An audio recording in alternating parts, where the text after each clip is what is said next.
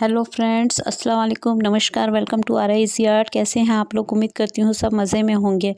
अपने पिछले वीडियो में मैंने पुराने टॉवल से डिश ड्राइंग मैट और हैंड टॉवल बनाया तो उसी बचे हुए टॉवल से आज मैं फिर किचन में यूज़ होने वाली बहुत ज़रूरी चीज़ें, ये ग्लव्स और क्लीनिंग क्लोथ बनाने जा रही हूँ। उम्मीद है आपको पसंद आएगा। तो देखिए, ये पहले मेरे पास एक ग्लव्स था, जो काफ़ी मैंने यूज़ ही नहीं किया है इसको, क्योंकि ये एक तो ग्रिप्स अच्छी नहीं बनती है और दूसरा ये इससे जल जाता है तो मुझे एक कपड़ा और पकड़ना पड़ता है। इसलिए मैंने इसको यूज़ नहीं किया है। इस, इसी को अब हम बनाने जाते हैं।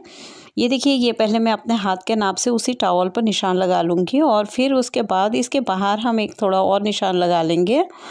ये निशान हम थोड़ा सा सिलाई के लिए बाहर से निशान लगा लेंगे और उसके बाद हम इसकी कटिंग कर देंगे। देखिए, हमने ये निशान लगा लिया है और अब हम इसकी कटिंग कर लेंगे। और इसी तरह से हमने एक पिंक कलर का कपड़ा लेना है।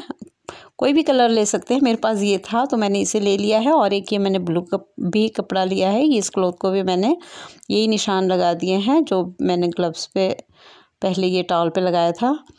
तो अब ये मेरे को फिर भी थोड़ा सा पतला लग रहा है तो मैंने एक कपड़ा और ले लिया और उसके बाद ये फॉर्म पे भी मैंने ये एक निशान लगा लिया। अब हम ये एक पिंक, फिर ये कपड़ा और इसके बाद ये फॉर्म और ये टाल रख के हम एक ये अलग हिस्सा बना लेंगे और ये कपड़ा और इसके बीच में और एक वाइट कपड़ा मैं रख लूँगी और उसके बाद ये जो टावल है, इसको भी इस पर हम रख लेंगे और इनके भी चारों तरफ़ ये सिलाइयाँ लगा के बीच में हम सिलाइयाँ लगा लेंगे।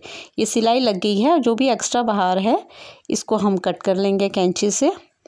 और ये देखिए कट कर लिया है। अब हम इन दोनों को आपस में रख कर इसके ऊपर ये सिलाई लगा देंगे। नीचे का साइड और थोड़ा सा हम इधर साइड में खुला रखेंगे।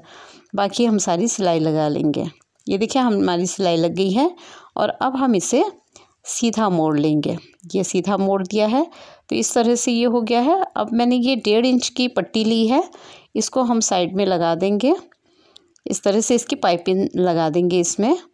और साथ में ये मैंने एक कपड़ा लिया है। इसकी हम एक लुप्पी बना लेंगे और उसे भी हम इसमें अटैच कर लेंगे। ये देखिए, इस तरह से ये साइड मैंने सिल दिए हैं और ये एक बहुत ही खूबसूरत ग्लव्स और काफ़ी ये मोटा बना है। थिक है तो मुझे अब बिल्कुल भी गर्म नहीं हो रहा है। देखिए कि आसानी से मैं इसको पकड़ कर रख सकती हूँ और ये देखिए इसकी ग्रिप भी बहुत अच्छी बन रही है। तो पहले वाले ग्लव्स में जो प्रॉब्लम मुझे आ रही थी, वो अब इसमें नहीं है। अब ये एक पीस बच गया है, मेरे पास ये छोटे छोटे फोम के पीस बचे थे तो मैंने इसके ऊपर ये रखे हैं। डबल करके मैंने टावल का कपड़ा लिया है। और किनारे में जो भी एक्स्ट्रा थे, उसको भी मैंने कट कर लिया है। ये भी एक मेरे पास एक कपड़ा था तो ये भी फॉर्म का टुकड़ा था।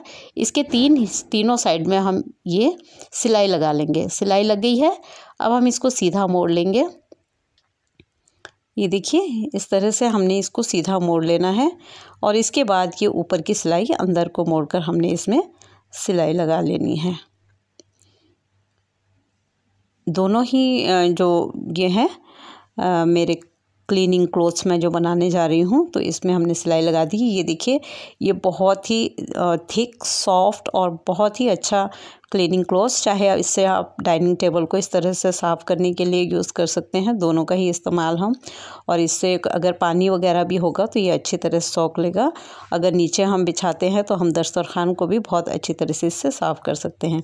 तो इस तरह से मैंने ये ग्लव्स और जो बहुत यूज़फुल है और उसके साथ ही ये क्लीनिंग क्लोथ बनाया अगर आपको पसंद आता है तो मेरे चैनल को लाइक शेयर और सब्सक्राइब ज़रूर कीजिएगा। Thank you for watching